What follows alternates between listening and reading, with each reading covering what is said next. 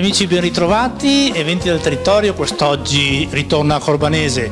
Stiamo per tagliare il nastro e festeggiare i 50 anni della mostra del vino di eh, Superiore di Colli. Siamo in compagnia di Sara Meneguz che è un consigliere della Proloco. Sara, 50 anni, tanti avvenimenti, tanti successi e finalmente il coronamento di questo cinquantenario. Sì, allora siamo emozionatissimi perché è un momento molto importante. Questa sera tagliamo il nastro della cinquantesima edizione della mostra del vino di Corbanese. 50 edizioni significa 50 anni di eh, attenzione e nella promozione della produzione enologica e gastronomica della nostra terra, significa anche e soprattutto 50 anni di volontariato, perché eh, ricordiamoci che questa manifestazione è eh, frutto di una rete solidale di volontariato, eh, tantissime persone dedicano il loro tempo e le loro energie a portare avanti questa manifestazione con grande impegno, rinunciando naturalmente alla propria vita privata e personale, anche lavorativa, proprio per il bene della comunità. Eh, il successo è dovuto anche a, a quei pochi eh, viticoltori che 50 anni fa credettero in questo territorio e portarono avanti un'idea.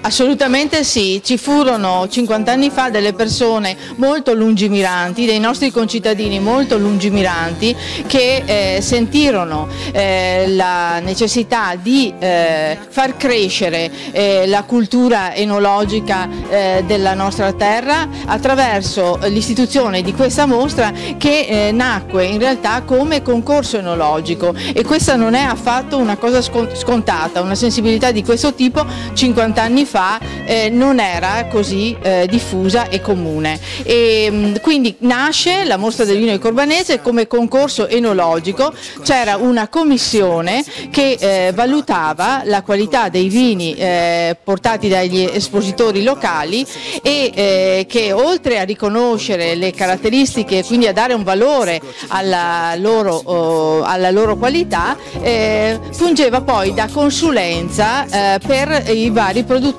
locali, quindi c'era la possibilità per i produttori di interpellare i membri della commissione che erano docenti della scuola enologica, eh, ricordiamo fra tutti dei nomi illustri quali il professor Bordignon o Tullio De Rosa, il famosissimo Tullio De Rosa.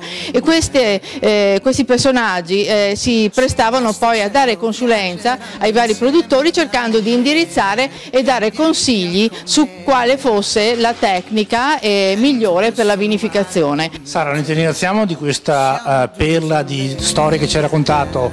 Eh, ricordiamo ai telespettatori 18 maggio 2 giugno non solo vino, questa siamo qui all'interno di una bellissima sala degustazione, ma tanto anche eh, gastronomia con piatti d'eccellenza, serate importanti e tanti volontari che vi attendono e ci attendono a braccia aperte. Assolutamente, il cibo e il vino sono dei beni culturali che sono l'espressione eh, della, del sentire e della cultura di un territorio e quindi vanno promossi e mantenuti e difesi nella loro originalità e nel loro valore.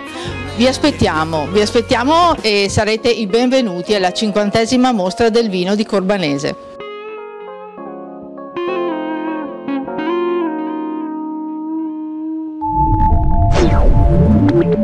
Yeah.